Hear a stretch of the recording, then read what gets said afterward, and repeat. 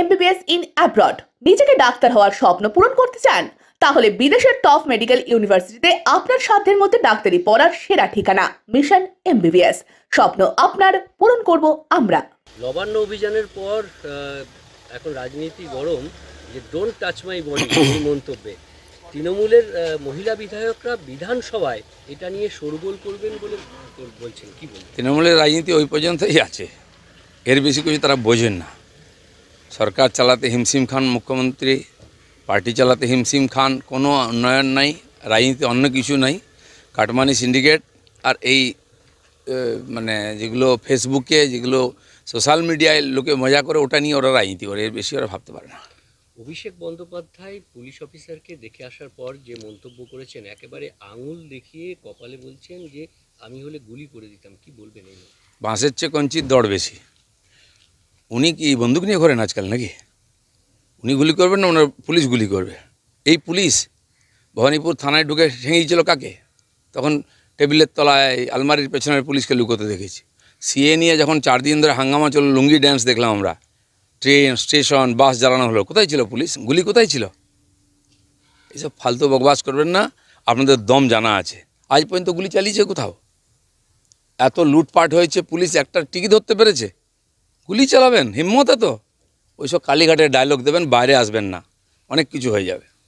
পুলিশের গাড়িতে যে আগুন লাগানো হয়েছে তার যে অভিযুক্ত তার সঙ্গে নিশীত প্রামাণিকের ছবি দিয়ে তৃণমূল ফেসবুক বা অন্যান্য সোশ্যাল সাইটে দিচ্ছে। যদি কেউ অপরাধ করে থাকে তার আইন আছে তাকে সাজা দেবে। কার সঙ্গে আছে সেই যদি আমাদের পার্টির কর্মীও হয়। হতে পারে আমাদের নেতার সঙ্গে ছবি থাকতে পারে। তো পুলিশ তার বিরুদ্ধে কেস দিচ্ছে কোর্ট দেখবে। ছশো কোটি টাকা ঝেড়ে দিচ্ছ আমি দেখলাম কুণল ঘোষ ন্যাশনাল প্রপার্টির কথা বলছে রাষ্ট্রীয় প্রপার্টির কথা বলছে। যখন ছশো কোটি টাকা জ্বলছিল তখন কোথায় ছিল?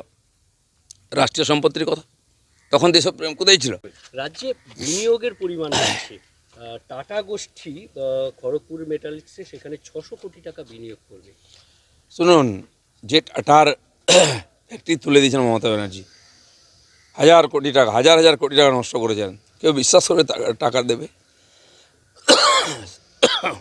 সেই টাটা চাইছে যে ব্যবসাগুলো চলছে, কোনো মতে চলুক। প্রত্যেকবার এরকম গল্প দেওয়া হয়। সরকারের জব ক্রিয়েশনের কোনো ক্ষমতা নেই। তাই প্রাইভেট কোম্পানির জবকে সরকারি খামে লোকের কাছে পাঠাতে হচ্ছে চাকরি হিসাবে। তাও কত কত রকম বিভ্রান্তি তাই নিয়ে। মমতা ব্যানার্জি জানেনই না কোন কোম্পানি কাকে কত চাকরি দিচ্ছে। ছ হাজার আট হাজার দশ হাজার টাকার চাকরি ঝাড়ুদারও তার চেয়ে বেশি বেতন পায়। বাঙালিকে ঝাড়ুদার বানাতে চাইছেন উনি। মুখ্যমন্ত্রী কাশফুলের বালিশ তৈরি করার কথা বলছিলেন। আজকে একটা দুর্গাপূজার প্রদর্শনী, সেখানে কাশফুলের বালিশ তৈরি করবেন হস্তশিল্পীরা। হতে পারে, এখানে নিউটনে যে সিলিকন ভ্যালি হয়েছে না, সেখানে কাশফুল প্রচুর হয়েছে।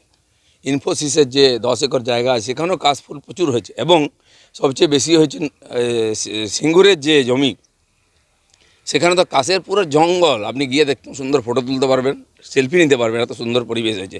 তো সেই কাশ কাশফুলেরই এখন সদ্ব্যবহার হবে বালিশ হিসাবে। এই এই শিল্পটাই বাংলায় চলবে এখন। কোচবিহার আলাদা রাজ্য হয়ে যাচ্ছে? মহারাজ বলে অনন্ত মহারাজ বলেছেন।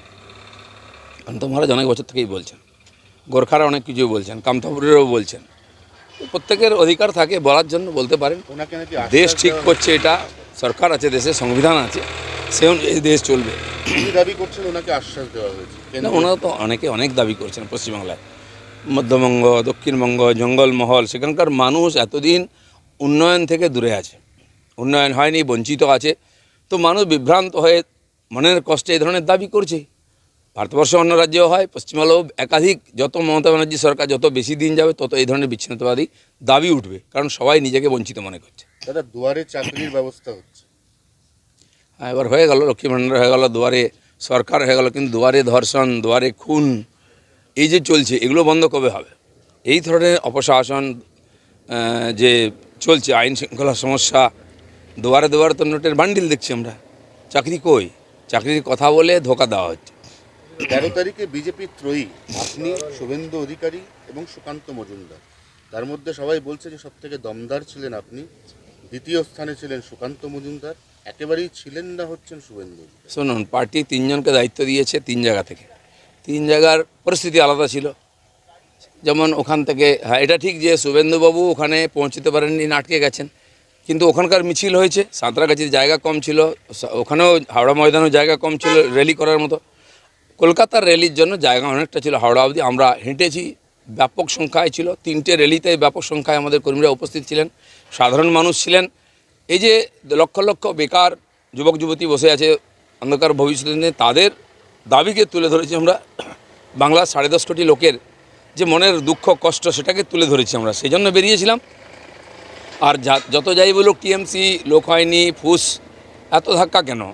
এত আলোচনা চর্চা হচ্ছে কেন? ফেসবুক এতে আটক- আটকাতে হচ্ছে কেন? তো বুঝে গেছে এই সরকার বেশি দিন চলবে না তার ভিত নড়িয়ে দিয়েছি আমরা। দাদা শেষ প্রশ্ন। যে মিছিলটায় আপনি লিড করেছেন সেই মিছিল থেকেই সব থেকে বেশি হিংসাত্মক ঘটনার খবর এসছে সব থেকে বেশি এফআইআর সেই কলেজ স্ট্রিট এবং মহাত্মা গান্ধীকে ঘিরে দেখুন আমি মিছিল শেষ হলো আমার কর্মীরা যখন ফিরে আসেন আমি তখনও পর্যন্ত ওখানে দাঁড়িয়েছিলাম ব্রিজের কাছে। তারা সবাই আমি বললাম ফিরে চলুন আপনারা। ফ্লাইওভার যখন ক্রস করে চলে এসেছেন তখন আমি ব্যাক করি। হাঁটতে হাঁটতে আসি বড়বাজারের মুখ অবধি।